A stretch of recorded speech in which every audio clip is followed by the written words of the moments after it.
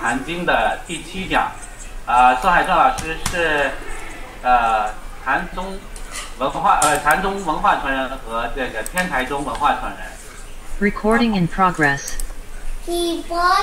啊，所以是继续宗门也是教下的这个传人哈，呃，非常难得，所以，稍等。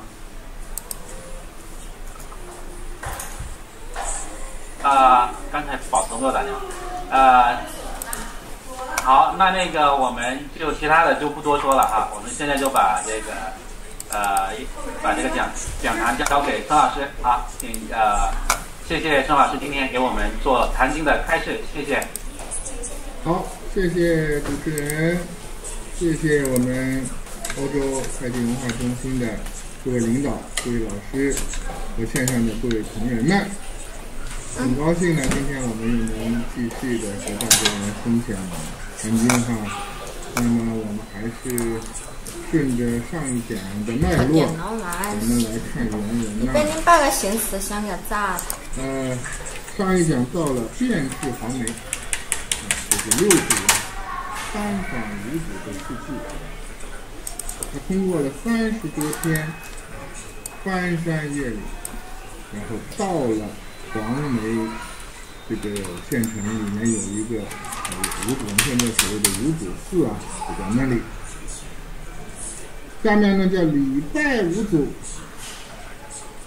啊，这一点其实啊，我们这人讲的很清楚，呃，也很轻松啊，说礼拜五祖。我们之前讲的五祖是什么样的人物呢？他坐下。数千这个一千多的弟子，影响的应该是过万人。按照现代的说法，就是相当于我们的武汉大学的校长啊，这么一个级别的人物，或者一个很重要的大学者。六祖呢，那个时候他的身份是什么呢？是个砍柴的樵夫。问人家借的钱，步行到了我们现在所谓的黄武汉大学了，是吧？黄梅禅师要见你们校长啊！现在这个这个社会啊，保安基本上就给撵出去了，是吧？可能性不大啊！别说校长了，估计只能见到保安队队长啊，可能都是副队长来处理这个事。所以呢。在古代，更讲究身份。一般情况下，像这种祖师大德，轻易是不好见的。怎么去了就见到了？怎么去了就见到了？实际上，我们知道，这个时候五祖已经感觉到有人来接他了，所以其实还在等他。哦，你终于来了！你看。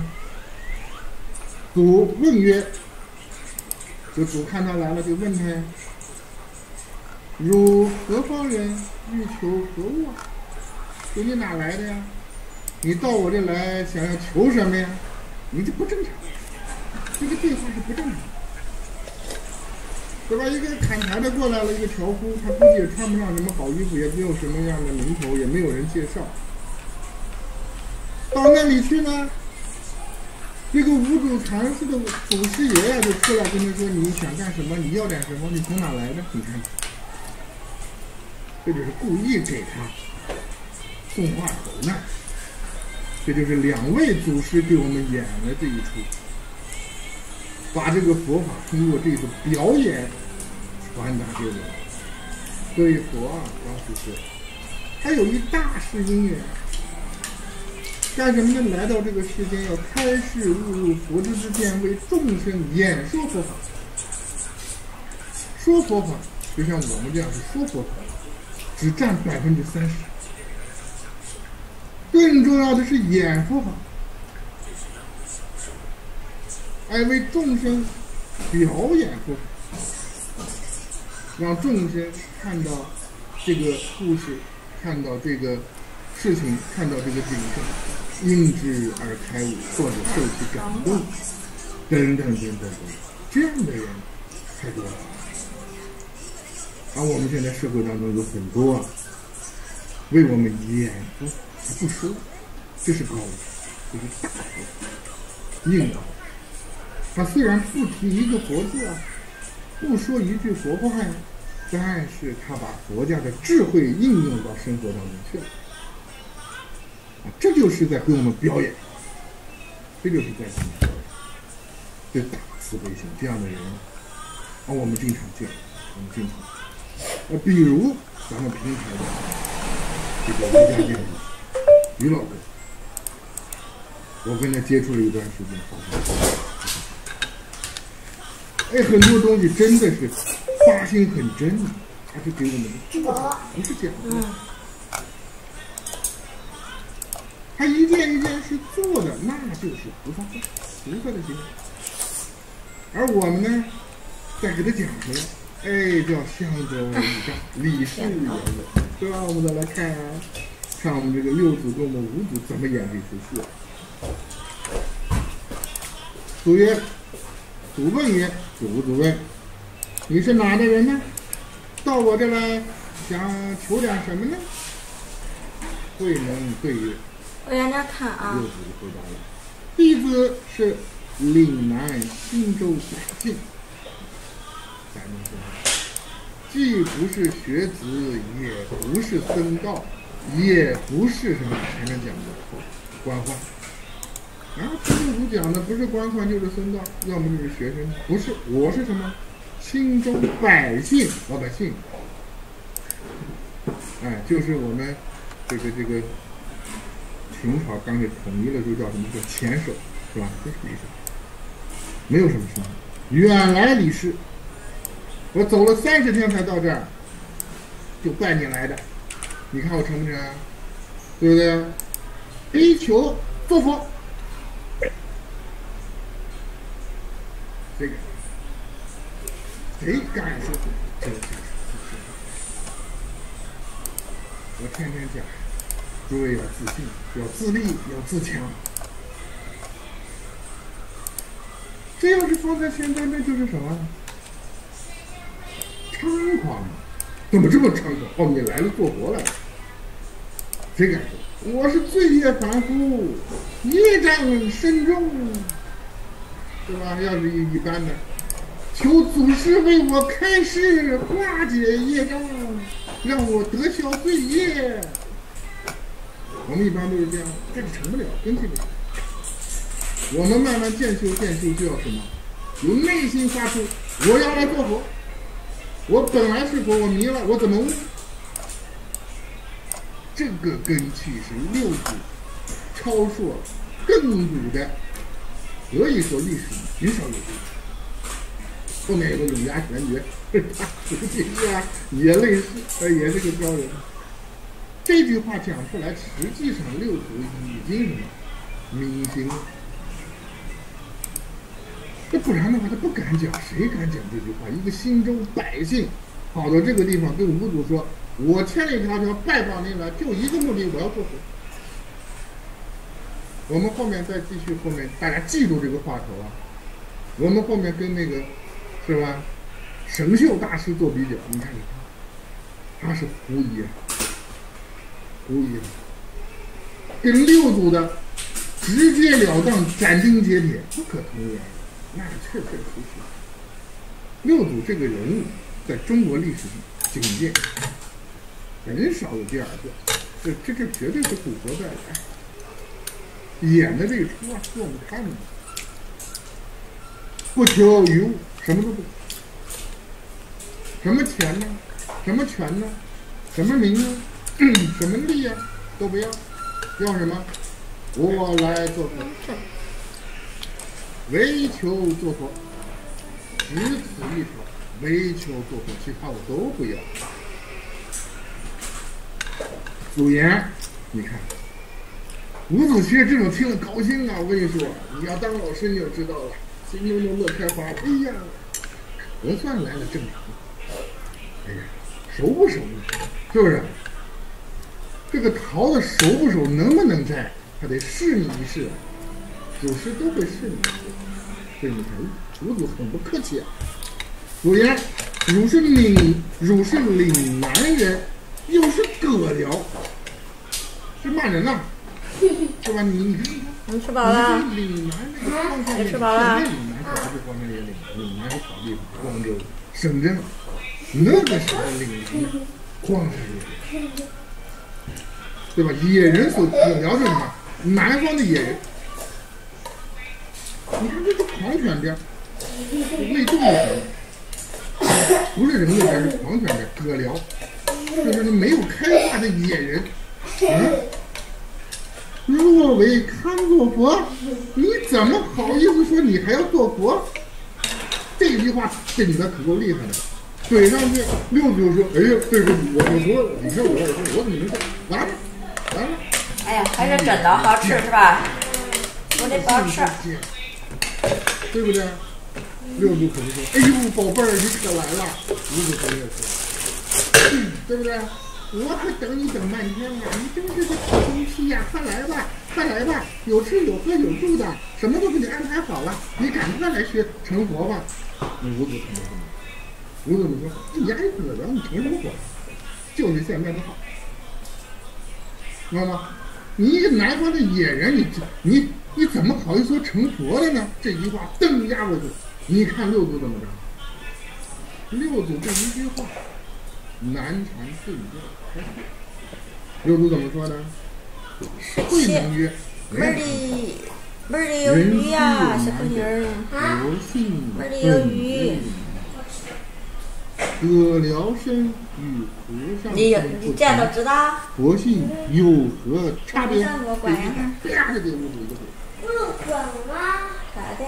嗯，你这和尚还有那不能照顾上妈妈，妈今儿不舒服，门儿种鱼呀，地把有南北，棚子装起来。和尚与葛辽这个相有分别，佛性有区别吗？你修了半天，传了半天，对吧？娘们儿啊有啥用印心，由心而发的顿教，你怎么还能搞上呢？你这个可不行啊！那么好的不是你说羊儿有啥用？对吧？这句话压过去的话最讨厌，这真是看清嗯，真的是难处近视，难或者我高眼镜，我看不见。咱们教那么多年没遇到过，没有说过来过来，方老师我来做活的，我是做配合做的。你看你个愣样，确实我愣，对吧？你为什么不夸我呢？五祖也不夸，五祖上来就骂，那葛辽就不，葛辽跟和尚是吧？身形虽然不同，佛性有不同，佛性有何差别？反问反问五祖有何差别？来，你说让我听听。五祖就骂，你看，这这一怼，没人怼他。你看，五祖现成的？更欲于语，是不是五祖一现成的？看，传法的人物，正要想再说两句，你看五祖也很聪明。等下，且见途众总在左右，周围有一方途众围着，这可是坏事的根苗。为什么坏事的根苗？一般人的心量没这么，对吧？任何一旦形成气候的道场，都会什么论资排辈。为什么给神秀啊？神秀是上座呀，跟了他多少年了，一直帮着五，帮着五祖搞这个这个这个这个弘法呀，帮着五祖干一些这个教学工作，大家都认为肯定是弘神秀啊，不可能是别人，对吧？你要换个老三老四，我们也接也接受得了，是吧？那靠从岭南这啊来来一个这个这个这个这个砍柴的啊，上来说我做佛，好，你做佛吧，就成了。谁也不服，关键哥们还不识字，文盲，百姓，没有职位，没有爵位，没有学历，没有钱，没有权，啥都没有，凭什么传你啊？大众的嫉妒心就会产生。你别说学佛的，谁都有嫉妒心，这就代表什么？祖师大德座下的弟子亦有习气。不是说你都学佛了，你还怎么这样？正是因为我们有习气，我们才学佛，对吧？建教的这种建教的学学学生，或者我们说建教的学子，他的缺他的他的特点在哪呢？我有习气，我发了，发了呢，但是我有清净菩提心，我有觉悟，觉悟我就改，改完了呢，发完了我再改，这就是建教，慢慢慢慢慢慢慢慢慢，不断的提升自己的水平，最后到什么？到六祖的份上，虽是可了，与和尚佛性又何？到这种份儿上，到这种份儿。所以我们渐修的目的就是培养我们的根气，而根气最根本、最根本的是什么？既不是福德，也不是因缘，也不是善根，是自信。信为道源中根。那怎么培养我们的自信呢？就通过我们的见学。那我们的根气不够嘛？我们要是生来，对吧？就像释迦牟尼佛似的。从他妈的那个嘎吱窝蹦出来，对吧？就四方各走七步，一手指天，一手指地，天上天上地下唯吾独尊，要像这样就行。能像那样子的就只有渐修，一点一点一点的攒，把自己的自信一点点建出来，一点点建出来，一点点建出来。哎，从心而发，由心。而用，所以说这个东西用来掌握世界，皆是五心之所变现。万法即五心，五心即万法，离心之外无一法符合。这个时候你的自信就建立起来。为什么？你不需要依靠任何人，这个世界就是你心变现。这个东西懂了，才叫六祖的状态，才叫六祖的东西。这叫信为主，我们见教叫信为主。真正的把自信建立起来，什么自信？佛说的一切，皆在五心当中显现。而渐修的法门很多，对吧？我们现在推广的太极拳，其实到最后的洞中求静，十三步登天梯，登了这个天就是佛像，就是通过十三步的渐修，一步一步的破身见，一步一步的破边见，一步一步的破邪剑。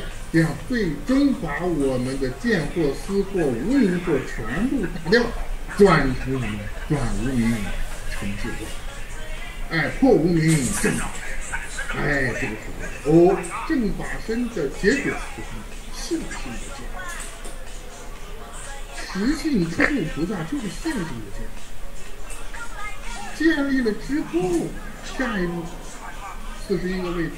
慢慢往上修，修的是什么？修的就是我们现在六祖的水平，你现在六祖的水平段，实性出住这个光彩。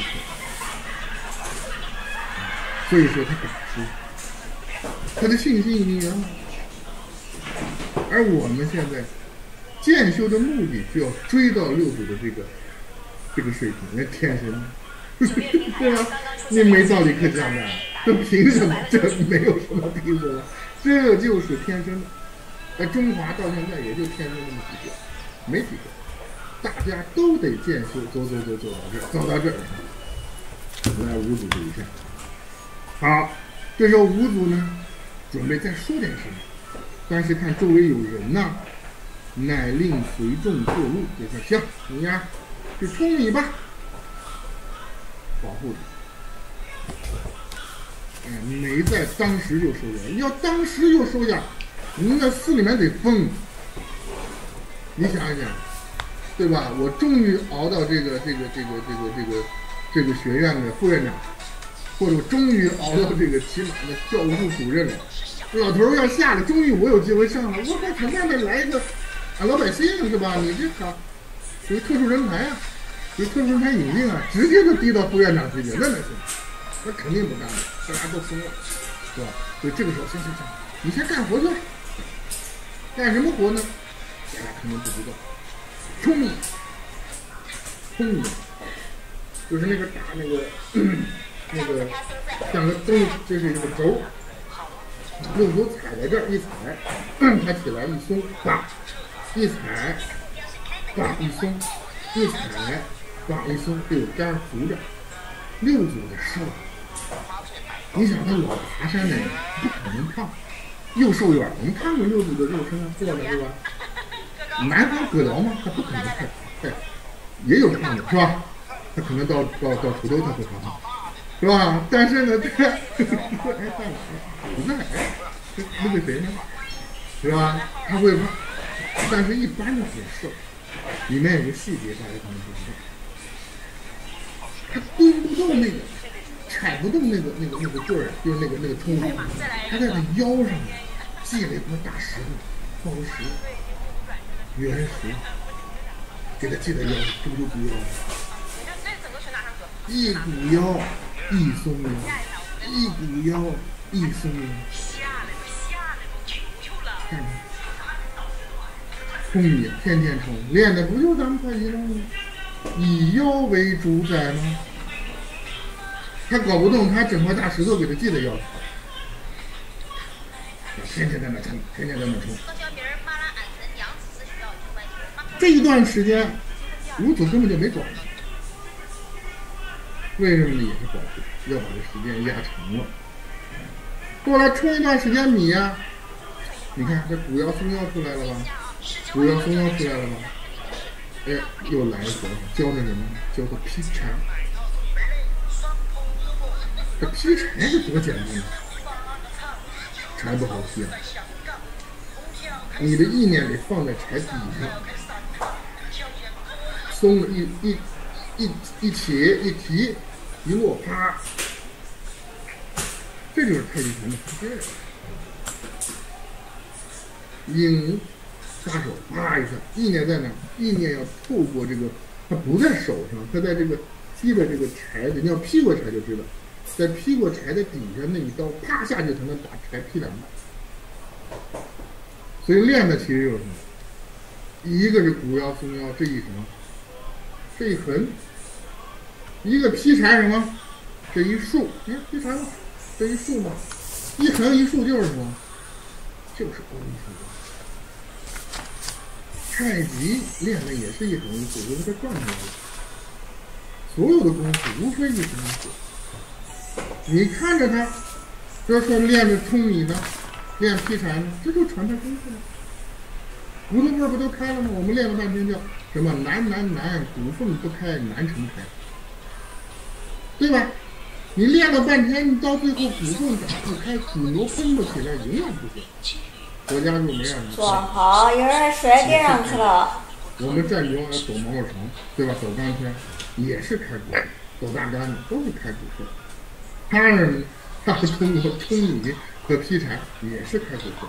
少林也有类似的术法，对吧？他们就通过生活当中就把实际上的基础修法练了，他们不告诉你而已。踏实练呗。那我们再看啊，慧能曰。慧能这个时候他还追了一句呢，因为老和尚干什么糊涂啊？暗号对完了，你不应该把我收下来吗？对吧？怎么让我干活呢？什么意思？慧能又补了一句：慧能遇慧能喜和尚，就是慧能要跟老和尚汇报一下，弟子自信长生智慧。你看，我自信当中老有智慧产生啊。不离自信，虽有智慧不向外攀援。你看，智慧，对吧？这叫什么？这叫照。虽然有智慧，但不离自信，这叫什么？寂。照而常寂，寂而常照。这就看出来，这个时候六祖的正量不在实性，应该在自位。必正法身，不然说不出这话，是吧？我现在心中常生智慧，一般人的智慧都向外攀援，对不对？智慧变成了机关，但是他的智慧什么？不离自信，这句话。照而常寂，寂而常照，寂是福田。你看他自己跟自己说：“我心中常是智慧。”长生智慧，这个智慧又不离自信，这个时候我心中已经具足了福腾，我就是福腾，干什么玩意儿？在佛家当中，什么人物才应该称之为福田，才能称之为因公？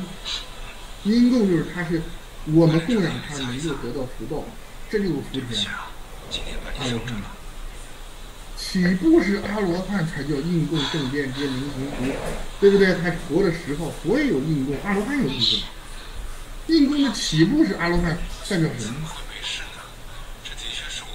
正德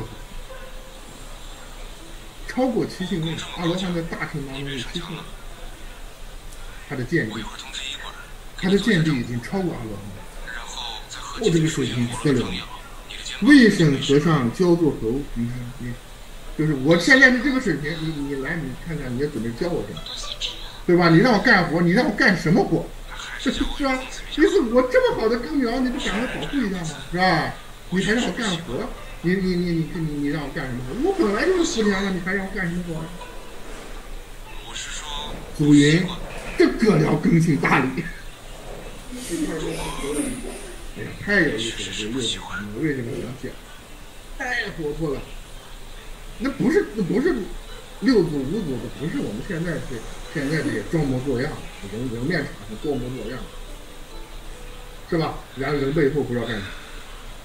你看人家，时间不早了，我就送，你回去了。你看周围人很多，你先干活，先干活。抱歉弟子心中常生智慧，还不离自信。本来就已经是福田了，那你让我干啥呢？可是，又讲什么？老和尚没话说，这个了根气太厉害。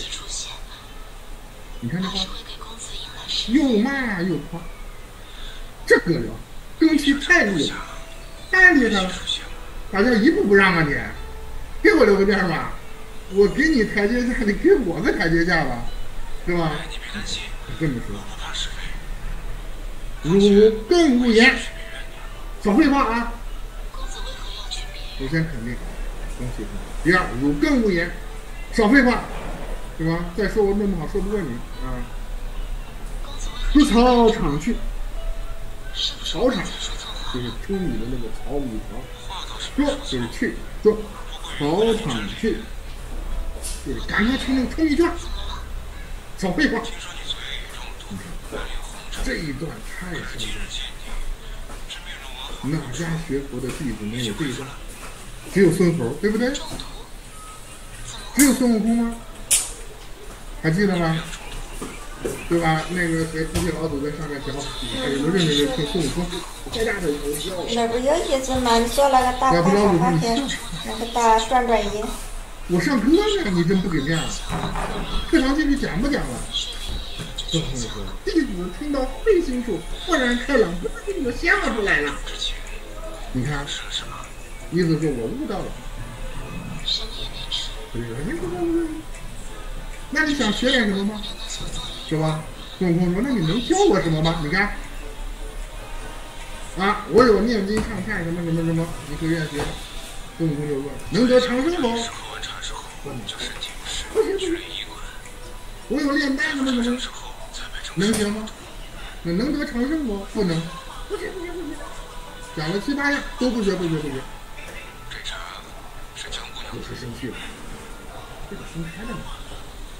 这破口，你看这可了，是吧？这也不学，那也不学。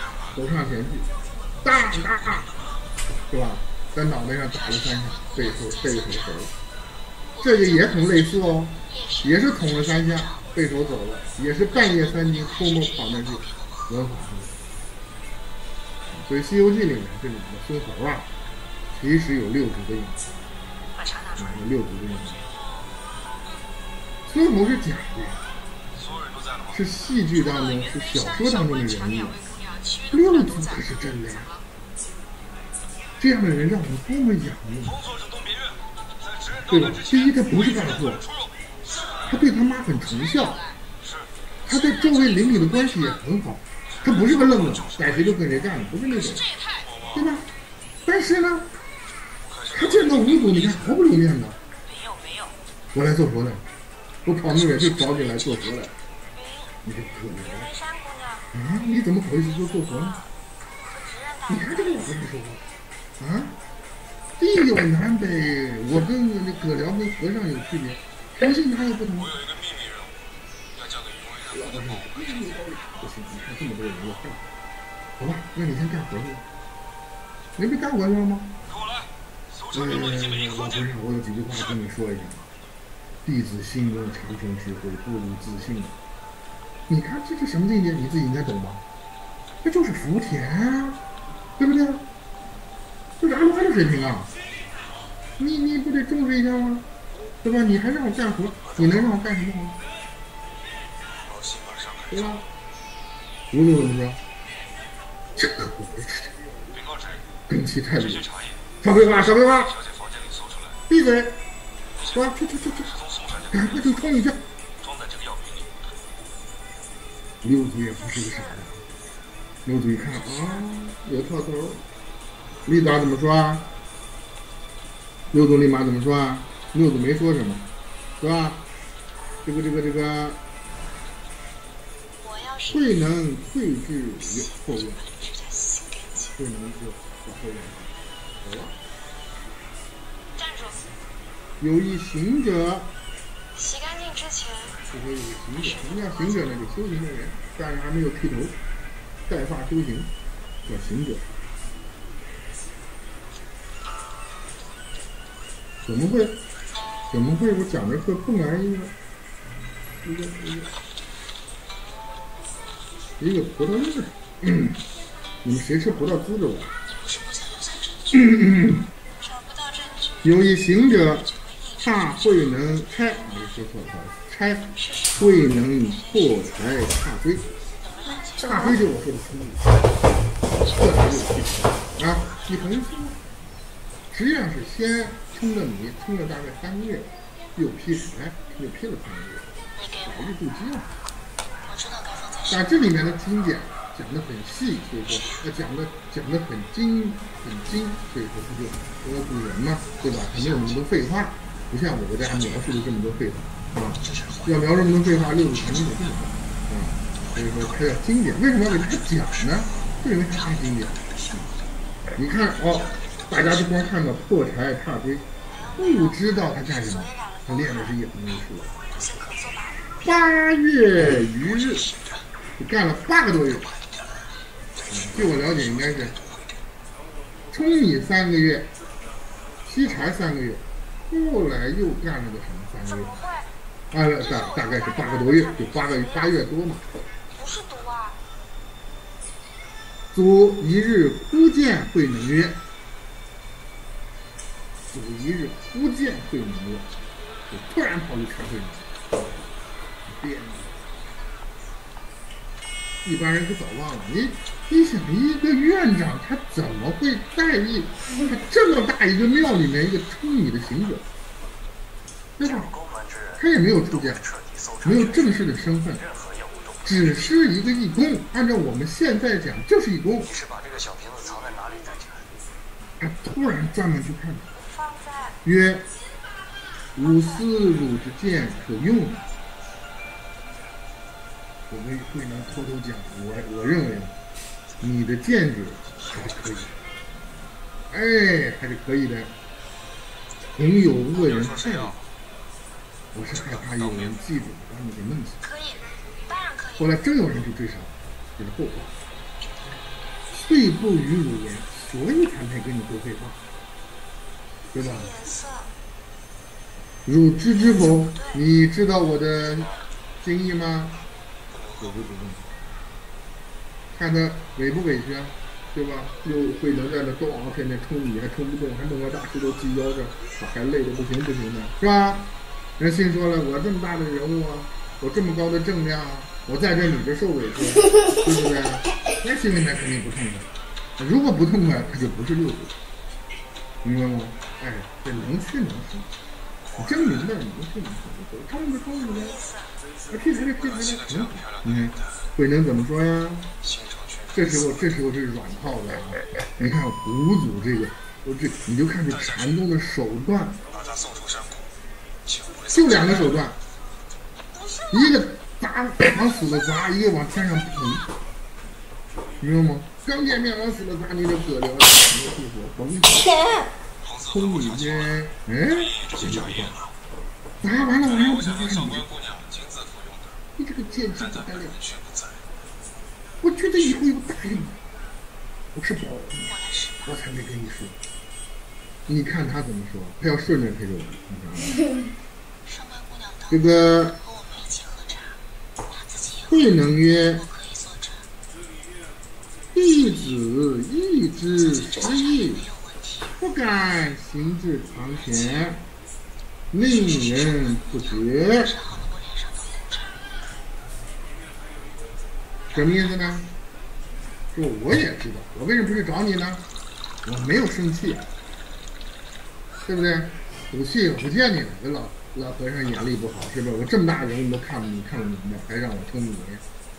不是的，为什么呢？我也知道你的心意，啊，弟子意之失意，就是我也知道你是怎么想的，所以说不敢行至床前，所以说还没到前面去找你，到你办公室找你，对吧？我也没露面，这八个月呢，我就踏踏实实的啊舂米，踏踏实实的砍柴，对吧？没有感觉的，虽然他没有令人不觉。这样的话，时间长了，人呢就把我忘记了，就让人家不会去再去找我的麻烦。哎。五祖的意思，言下之意是什么？公文之人都需要全身搜我那么长时间没理你，是不是啊？你不要记住，你不要见怪，因为我要保护你。如果你那个那样憋了，六祖要是憋了好长时间，可不是吗？啊你一看呢，你不早说，我是天天冲你，我容易吗？对不对？我天天劈柴，你跟我说老点子劈手，对不对？你早说呀，你早说我不就歇着了吗？对吧？我等你找我呢。没有，可是我也知道。那我就踏踏实实听。说明什么？说明这抬它也抬不起来，你看到没？如如不动啊，砸不下去，抬不起来，这个人就可以了。祖一日换住没人，这个时候五祖开始布局了。这佛家人呢，那个智慧不得了啊，他没有直接传，是吧？他开始什么呢？制造话题。吸引流量，你跟我们现在是一样的，对吧？也是流量位吗？他偷摸把这个法医法脉传了，六组偷摸也走了，有什么呢？等到六组哪天跑到南方说我是他的传人，不相信，不可能，你偷的，法医是你偷的，对不对？我们不知道这个事儿，知道他来，那五祖也没说呀。来这里，所以五谷这时候要开始制造流量，要展现六祖我转卖的能力，给他一个机会，把两个人，一个是神兽，一个是六祖，摆在同一个平台上，叫赤裸的圣千破六路，到底看谁的心定，谁的是就想看看有没有什么别的方子，他就一日试一下我这唤门人董来，五相五说，比如说呢，把这个名人都换来了，董来就是一直，一直。五相汝说，我跟你们说的那样，世人生死事大，就是我们要了生死这件事是最重要的。我们学佛的目的是为了了生脱死，是真正是对生死这个真相有了一个深刻的了解和明白。什么叫了生脱死啊？就是真正的理解生是怎么生的，死是怎么死的，生死是怎么一回事。你真的把生死看明白了，实际上对生死的恐惧你也就没有。而我们人活在这个世界上，所有的恐惧都是源于死。如果我们能把死看破，你就没有恐惧，没有恐惧就没有。所以佛家要讲转烦恼成智慧，我们怎么转烦恼？怎么成智慧啊？就得把生死看破。所以生死这件事，在佛家来说最重要。我们学福啊，叫什么福？不能解这个事情，修福是做不到的，破不了生死，因为你妈妈每天这样哦，啊非常梦性。在手一边吹呀，生就是看，就是梦境。什么是死啊？就是这个梦灭了，就换成新一个梦啊。在这个梦当中，一个梦接一个梦，一个梦接一个梦，不能真正的醒来，这就叫六道。而我们学佛的目的是真正的叫破迷开悟，由颠倒梦想当中彻底清醒，这就是我们学佛的目的。六祖、五祖这个时候呢，跟大家说，这就是我讲课的核心内容是什么呢？生死时代，不要把这件事情跟其他事混淆。其他是混同，我打麻将跟生死了生死哪件事大？这是去了何处？对不对？我们好多人我这没时间呢，孙老师来不了，为什么家里来来牌友了，我得打麻将，是吧？等，等等等。我们现在是什么？生死是想，死了也行。不用死了呗，怎么的？趁死之前多开心开心，多吃吃，多喝喝，这就是段铛，被职人大人选中。就是我们学佛的根就在这儿，这一句话点破。而我们现在其实学佛多是为什么？两个字保佑我。你是如何找到离宫？大家互相都说什么？哎呦，哪个地方地上的佛菩萨灵啊，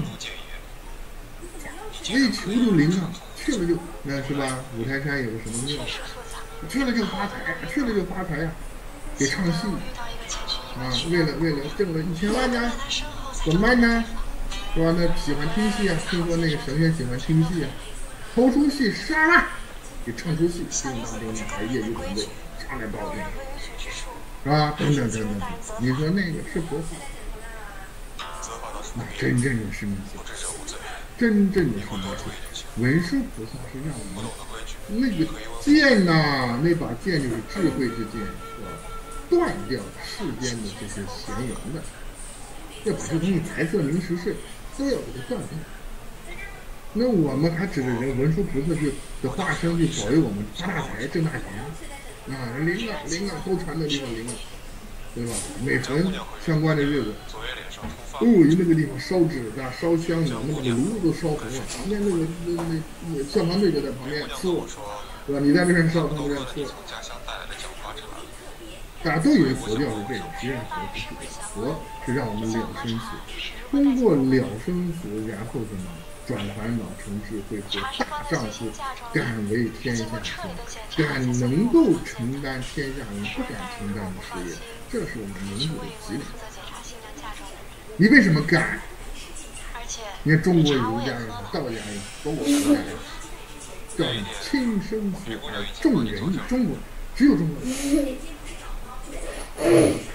他为什么敢？人好多人笑人傻子，你才是傻子呢。这样的人能是傻子吗？真的真有智慧，而且还有决心。博士，什么叫博士？亲生子重仁义。孟子怎么讲？茶叶作为嫁妆，孟子鱼与熊掌不可兼得。对不对？那么，义与此不可兼得。孟子：舍生而取义者，舍鱼而取熊掌。这就是中国文人的气象。这个气象从哪来的？仰慕浩然真气，与天合者，与日月合明，与鬼神合其基数。这不是孔子在《易经》里面讲的会再来找？上。天地在五行，万化在五手，你还有什么话？我是无法就无法，所以儒家也好，道家也好，佛家也好，都是生死事大。你先了生死，了生死你才能成才，不能了生死，永远成不了才。为什么？不争不气，最后只能作为一，你说做一个族吧，一个小族的命，成不了才。妈妈喝水。死了又怎么样？你真明白死是怎么回事？你死不可怕，不就换年龄吗？正确的一款，对。对不对？不就换个皮囊吗？不就这点事儿吗？我和你一样，真把这个搞明白了，佛法身体早就调了。佛法成了，你在这世间干任何事情，你就唯道是从，唯义是从。为什么？我没有必要跟你委曲求全，就像六祖似的，我没必要跟你虚情假意，我来就做好的，一就是一，块就是二，为什么呀？你这个是假的，不信。你说我假的不好，那我真的跟你一样吗？对不对？啊，你那个假壳是个和尚，是个大学教授，我的假壳是个砍柴的，你拿这个假来跟我说，是吧？假中说假，对不对？你不是吃饱撑的吗？咱俩佛性是一样的。既然这世间一切皆是幻法，我为什么不取正道？你啥去说的？好奇心就是最大的。能明白吗？要能明白这个道理，就能真正的把这反正都是幻，反正都是幻，对吧？我为什么要换邪不换正呢？那一定是取正道，取正道。为什么？人说那个邪道也是佛性显现的，我为什么不？为什么？为什么不觉得？因为他容易把我们蒙住。什么叫邪？什么叫正？哪有正？长生智慧不离自信就是正。你所做的事，因为你大公无私，你不往回找啊。所以说嘛，它不容易迷。所有的正事都是什么？让我们布施、禅定，呃，等等等等这些东西，都是让我们什么？发大心、发圣心、发信心、发般若之心，离一切相的心，方便我们觉悟。而一切所谓的邪事都是什么？都是容易让我们再次迷惑的。此思所谓的什么？白色名食睡，所谓的堪称吃鳗鱼。你往回一看，你是不是就有我相？就容易有我相，有我相好，有我相的同时不离自信可以，这叫妙观察。如果有我相，他是不是很容易就会执着到我相，发发生忘记？这个就是叫邪。正邪其实就是便于我们悟，还是便于我们迷？当然都是佛性的妙用。你有这么大道行，要有这么大道行可以。我们那个时候在看什么？再看什么？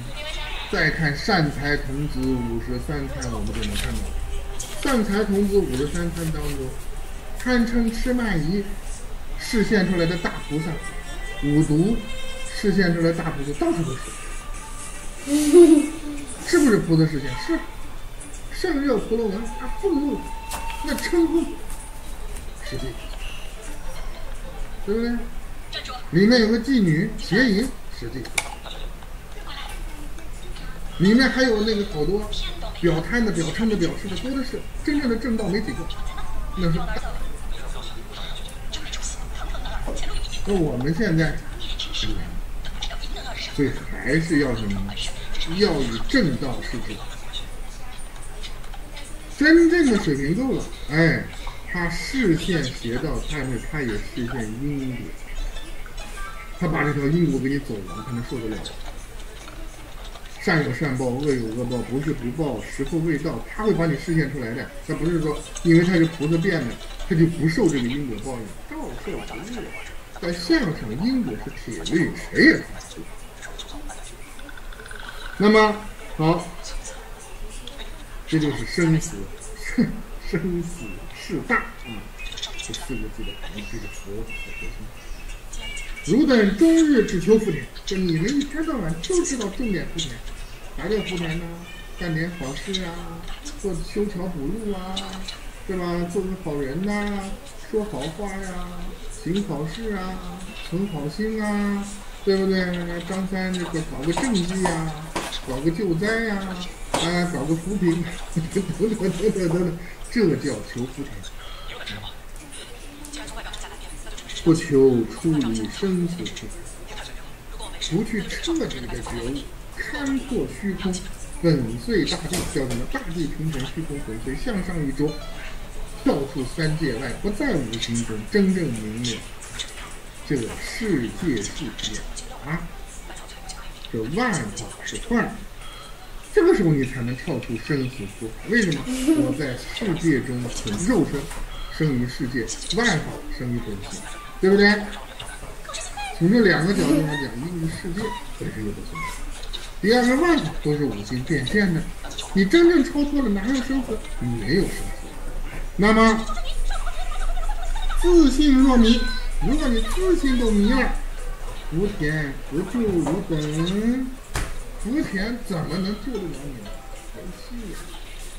所以是小福大福都不行，对吧？你就算福报修，再往上修到福田有什么用？有什么用？八万大劫登陆，你，到底还得做，吃不了。这是根本，这是六祖高的方法。这这不是六祖，这五祖在说的。达摩祖师也说过，学佛学的什么？就是佛性，就是开发自信的佛性。其他一切阿扎事，一切所谓的法，都是绝世，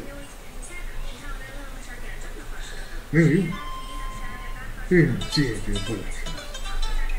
关键时候超不受出去，所以这个时候我们就真正的修破生死海的真这个真正的东西，这才是佛法不行。嗯，好，那么，嗯，汝等各去自看自会，这个呢就下下一次再讲，这就开始复习了嘛。他先把六祖的肯定了，然后后面让你们开始写记子了，我们后面的记子就出来了。每个人写写一个汇报的，当时写记的，就相当于现在写一篇论文，是吧？把你们的修行心得写出来，我们下一讲再讲啊，下一讲再讲。呃，那么今天呢，咱们讲完了，讲完了之后，我们讲点实修的方法，是吧？讲点实修的方法。上一讲。跟大家讲了个什么呢？讲了一个观鼻头白，然后调息呀。这个调息，今天应该是第几讲？上一讲呢，就应该是跟大家讲过了，如何调这个方法。等于说这一个月也过去了。大家呢可以单独的练，你会发现自身的真火一旦起来，哇，这个飞呀！慢慢练，慢慢练。在这个不停的情况下，我们介绍第二步啊，第二步叫什么呢？行深不远。行深不远。我们本宗的特色是借假修真的。假是什么呢？我们就看这根香啊，这根香啊，叫观香闻香。那么，我们之前借蜡烛观鼻头白的时候，实际上是什么？是虚空当中就有照性，就是往外照的这个性，这个能力，我们不知道。那用蜡烛的火光，它这个照是这个蜡烛的这个光相，是不是也往外照？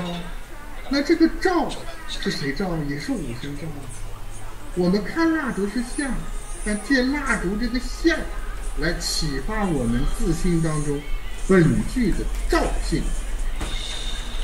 这个照性把蜡烛去掉，虚实生白，就是我们照性的体现，知道吗？就是我们照性的体现，所以我们在关到白之后，最后把这个白凝聚在一起，实际上是什么？叫反照。反照，按照反观和反照不是一回事哦。从鼻子尖进去反照这条照，大家慢慢修，这里面的道理很深。我们说修定，我家的定怎么修？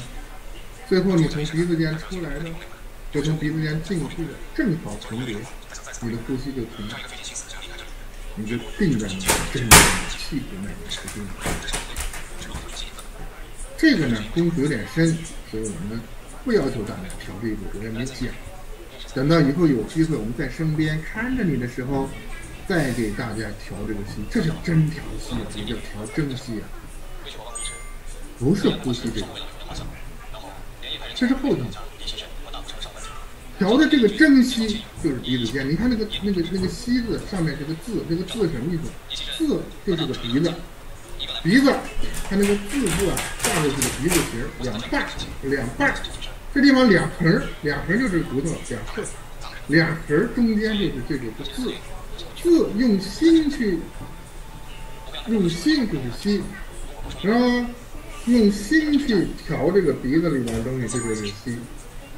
调息的息是这个息啊，不是这个息呀，不是口边的息，它是自心之息。然后我们写一下。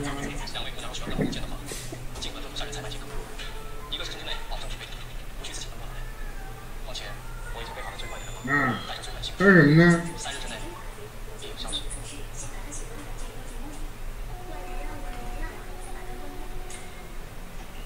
啊，这是个。这是个字字啊，画的不太好。这是俩鼻子，看到没？这就是个鼻子，这就是这俩，这就是我们说的这两半，这中间。调息在哪调啊？调息就在这个地方，啊，就在这个地方。你要加个心，啊，心我不太会写，忘了，啊，忘了怎么写的。好像是这样写的吧，大概其实是。我忘了啊，我忘了啊，这心大概写这样写，啊，这是心啊，大概这样写的，自心的心，用心去收那个外头的什么呀？调性，这叫反调，给调息啊，千万不要，这个呼吸是口边的，这个吸是鼻头的，是用鼻头的啊。那么我们有照必有关。这么有照必有关，关是什么？关是往里边，照是往外的。那么我们这个照性出来的这个虚空的关性，它跟我一样有关系，因为它就是我心变性。怎么办？先观想起来，得观想，然后这个观相、闻香，最后是什么？物则三得密藏，这是三步。那我们来先看观想怎么啊？先把这香点着。香点着啊！这个地方，这个地方，啊，这叫眉心。拿这个香头啊，把它对着眉心，然后用眉心啊感受这个香头的热量，一条直线一直穿到脑后的性囊。马上就要结束了。从脑后穿过，慢慢的，热辐射，辐射过去，别那么快。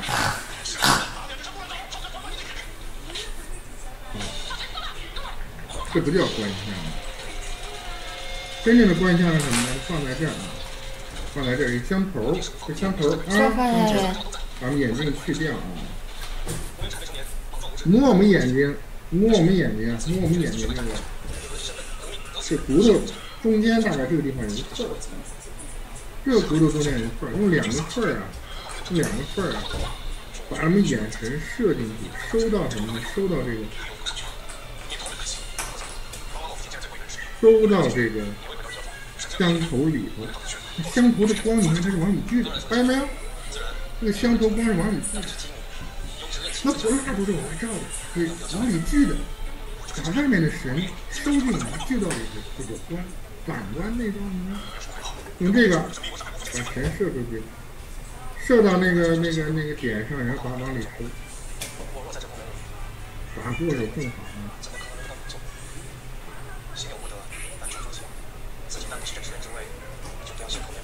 把我们外面的眼神全部收到那个，眼神从哪收？从两个楼，从两个缝儿。不要瞪个大眼睛啊！不要这样瞪啊！这样瞪出眼泪、流眼泪了啊！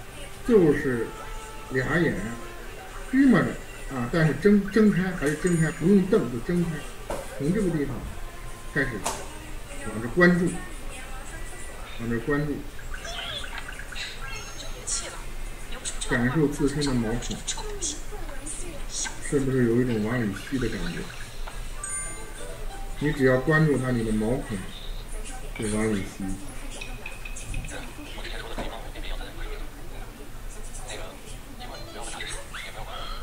这个观香啊，这个香有点低啊，原则上应该什么呢？哎，高度啊，正好在自己的这个眼睛，比如就在这个位置，跟自己的眼睛齐平。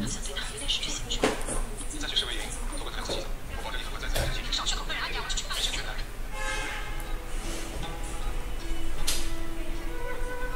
是。这个时候你会发现，哎，所有的毛孔都在往里吸，吸吸吸吸吸吸吸吸，这个就是进到丹田，下丹田啊。进到下丹田之后，你会发现在这下丹田转起来了。哎，这就是关香。关箱的目的就是把下丹田转起来。嗯，这个是准备做的最重要的一。这一是，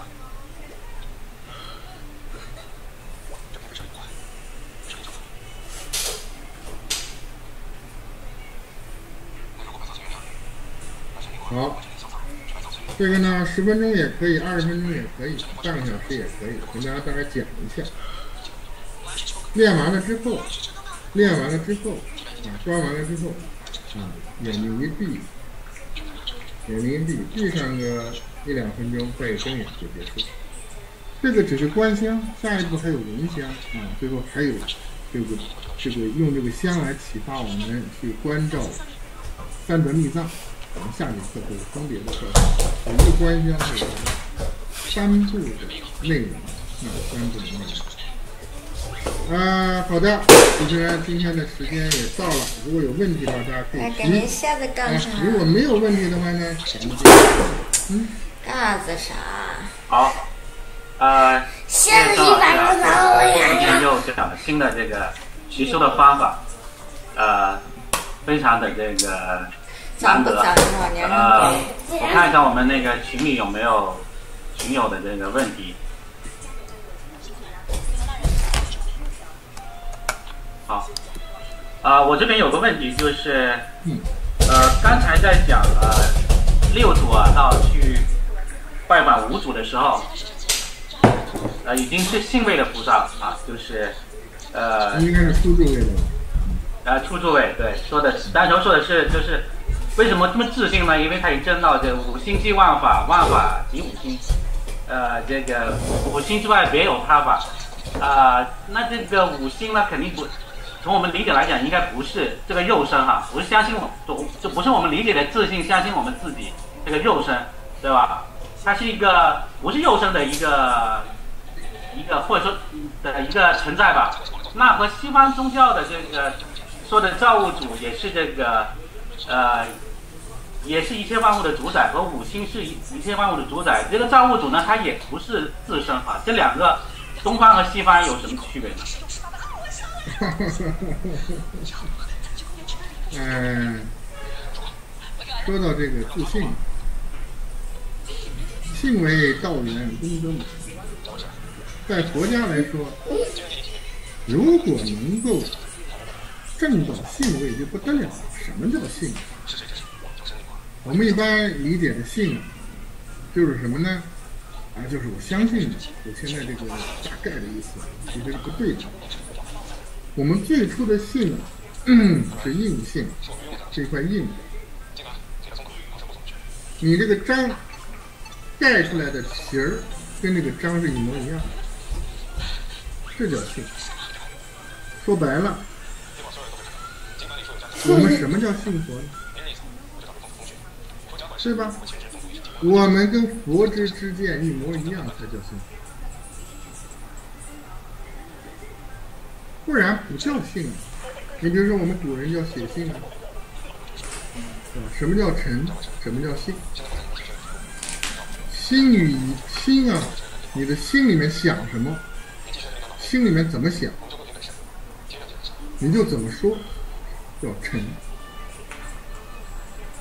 对吧？我怎么想我怎么说，这叫诚。啊，说错了，不好意思，不好意思，我说错了。我怎么看就怎么想，叫诚。就这件事情，我看到我怎么想，我就这么想，这叫诚。我怎么想就怎么说，叫信。就我表达出来了，我不是谎言，不是委屈的，哪说？也是什么？意义对应，没有变样。也就是由佛性到我们的万象，我们能够直心是道场，直截了当，没有变样，没有委屈，没有幻化，这才叫性。不然的话，不叫性，或者叫迷信。所以佛家讲的性，包括中国古代人讲的性，可不是我们理解的简单的相信。这是我们中国人讲性很高，所以讲到性位，你把这个所性之相破掉，契入能性之体，你就成就了。那么西方呢，咱们了解的不多，了解的不多。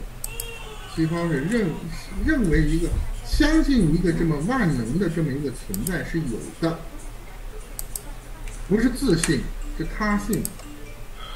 这个万能的存在可以保佑我，可以超度我，可以恕我的原罪。我要忠于这个万能的存在。所以我不能学其他宗教，我必须忠于他，我要像羔羊一样接受他的，是吧？放牧。所以这个方面呢，应该说他们还到不了信位，还是他信，他信就就不是信，他信在我们说就是执着，就是执着，所以它不是一回事。所以中国的宗教，所谓的宗教。所谓的宗教，因为中国没有宗教，它为什么是包容的呢？都是五行变现的吗？所以它万法归宗，它什么都能容。而同一个西方教派，不同的分支之间互为死敌，为什么呢？他认一个假象为真。认为真有这么个假象可以保护我，我必须对他忠诚，别的都不行，这种背叛。妈妈，一只鞋子不见了，就会导致这个方面的一些。所以说，这个人家的事儿咱也管不了，咱把中国东西说，为什么说未来是中华文明引领世界呢？因为只有中华文明有这种东西，只有中华文明有这种智慧，只有中华文明有这种有这种通的。好的，好了，感谢孙老师。呃，好，群里还有一个问，群友问了一个实修的问题，呃，他问孙老师好，请问观香时毛孔如何都能收到香头里去？毛孔，毛孔不收到香头里去啊。毛孔它在呼吸，你要感受这个毛孔的吐纳，是把眼神收到香头里去。说白了，就往里照嘛，往里看嘛，往里看嘛。用这个往里看，往香香头这么大，再往里看香头里面的芯，它不就进去了吗？对吧？你往里看的时候会有什么呢？哎，周围的这个这个这个，你感觉那毛孔立起来，它在往里嘬，那毛孔在往里吸，千万别把毛孔放香头里啊！毛孔放香头里整整了。啊，好嘞，好嘞，这个应该这个群友理解错了。好，那个应该他没有其他的问题了。呃，好，那我们今天就到这，感谢孙老师。好，我们下周下周再见。好，再见。下周再见，感谢各位老师。